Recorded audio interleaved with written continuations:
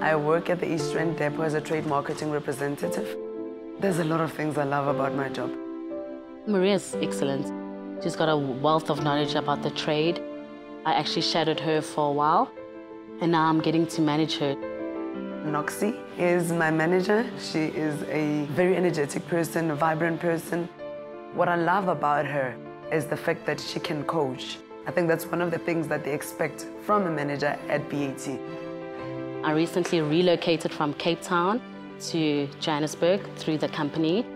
I came to a depot where I'm the only female manager. The guys have welcomed me well, and I think from the feedback they've given me, it's quite refreshing to see a female in the depot. I've got the chance to actually help others develop while I'm developing my own leadership skills. One of the biggest things that I did through BAT was Growth Academy. It's a two-year program that a few people get selected for. From marketing to negotiation to future leadership programs, it really is motivating. Eh? Maria understands her outlets and she's got a natural leadership. We are a customer-centric company.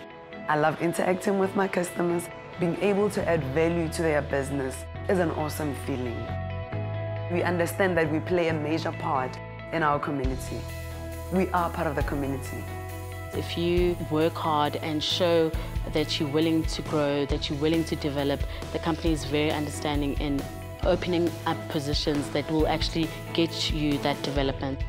There's so many roles and actual projects that I can still be involved with, which is awesome because the market is always constantly evolving, constantly changing, and that's what's nice about working about BAT.